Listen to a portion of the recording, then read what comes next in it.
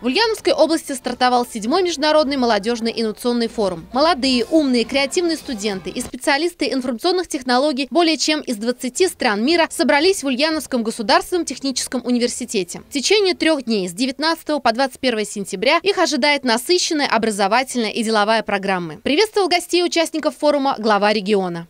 Действительно, проводить уже седьмой по счету форум это не только большая ответственность, но и огромное чувство гордости. 19 сентября в фойе регионального центра науки, техники и культуры ЛГТУ прошла выставка промышленных предприятий и организаций города Ульяновска. Они представили свои достижения и последние разработки в разных областях науки. Несмотря на небольшой размер этого робота, это один из самых быстрых роботов серии компании Кука. Его вес составляет 26 килограмм. Э, наибольший вес, который может поднять, это 3 килограмма. Для ульяновцев до 18 лет в день открытия форума был организован молодежный роботехнический фестиваль «Ула Робофест». Мы представляем а, наше оборудование, а, которое мы получили в проекте по открытию ЦМИТа, Центра молодежного инновационного творчества. Здесь представлен 3D-принтер и фрезер.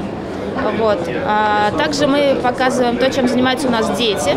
Дети от 4 до 17 лет. Это конструирование, электроника, программирование. И здесь, например, мы разработ... показали разработанные нами а, наборы для творчества, для технического творчества для детей от 8 лет и старше. Под эгидой форума в стенах политеха провели первый IT-диктант для жителей. По словам специалистов, это дополнительная мотивация населения к повышению уровня цифровой грамотности, а также возможность всем желающим получить независимую оценку своих знаний в области цифровых технологий.